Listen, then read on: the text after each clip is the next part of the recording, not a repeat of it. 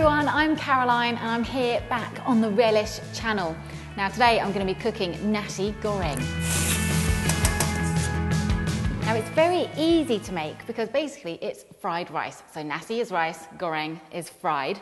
And there are just a few key ingredients. Once you've got these nailed, you're going to make it tasting really authentic and perfect at home. And I'm going to actually blend everything together.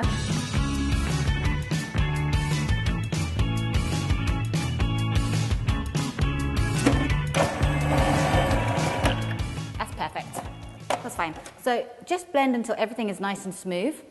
And the nice thing about nasi goreng as well is that you can actually add whatever you like to it. So if you want to make it into more of a full-on meal, add some chicken, add some prawns, add some beef, you know, whatever you fancy really. All right, get your wok nice and hot. You see now it's smoking. That's good, okay? So the key just to doing any kind of stir-fried dishes is all your ingredients ready to cook, and then it's only going to be a few minutes in the pan. And I almost forgot the key ingredient. Oh, I've got some rice. so this is, um, this is rice that I've cooked up way ahead of time and it's gone cold. Okay, just make sure you get it all nice and separated first. All right.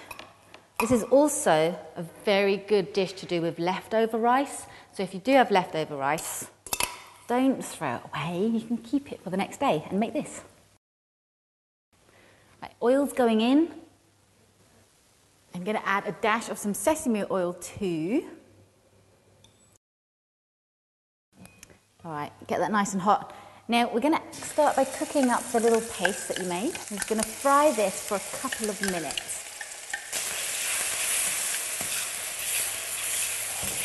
So you want to cook this, yeah, just for a couple of minutes, like so. Okay. Now once you see it browning up a little bit, we can now add in some chopped green beans Let's just thump those in. Let those cook a little bit. Stir that all together. Okay, I'm now going to add, crack a couple of eggs in to the side. Let's just literally pop them in at the side there. And this is almost like you're making an omelette, okay? Let the bottom settle, then just give it a good stir around. And once it's halfway cooked, then all you need to do now is add the rice in. That's enough.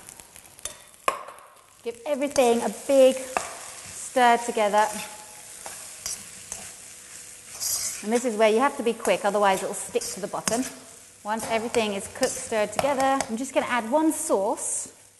And that sauce, if you like your Southeast Asian cooking, it's kind of essential. This is some sweet soy sauce. We call it kicap manis, so you can add some of this. Let's add a good drizzle. Stir that all together. All right, so there you go. Nasi goreng is done. How easy was that?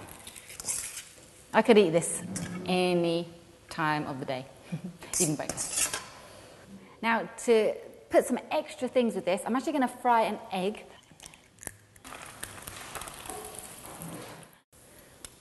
There we go, one egg on top sunny side up. Now I'll just finish this with a few extra spring onions, and I don't mind a bit of spice, so I'm having some chili. So that is how you make a nasi goreng. I hope you all really, really enjoy this recipe. Please leave me your comments and don't forget to hit subscribe so you don't miss any of these awesome recipes. Enjoy!